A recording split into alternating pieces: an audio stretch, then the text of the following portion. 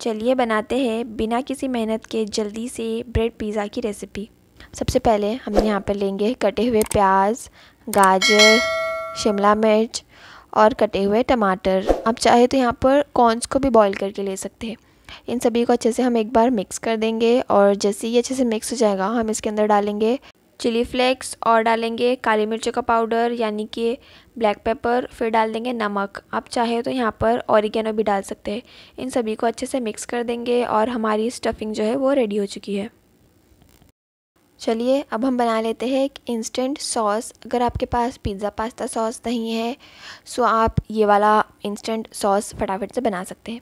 सो सबसे पहले हमें लेना है सेजवान चटनी और सेम क्वांटिटी में हमें लेना है टमाटो केचप और फिर इन दोनों को हम एक बाउल के अंदर ले लेंगे और फिर हम इसको थोड़ा सा तीखा बनाने के लिए डाल देंगे चिली फ्लेक्स और इन सबको अब अच्छे से हम मिक्स कर देंगे।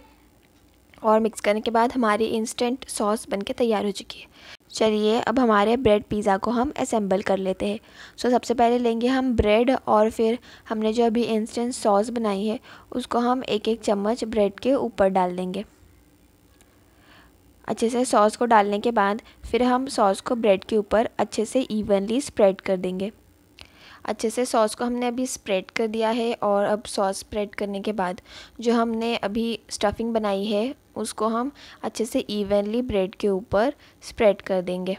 सो so, जितना हमने स्टफिंग बनाया है वो तीन ब्रेड के लिए काफ़ी है। अगर ज़्यादा बनाना हो तो आप ज़्यादा क्वांटिटी में ले सकते हैं। और यहाँ पर मैंने लिया है एक कप मोज़रेला चीज़ अगर आप चाहें तो यहाँ पर मोज़रेला चीज़ की जगह पर क्यूब वाले प्रोसेस चीज़ का भी यूज़ कर सकते हैं।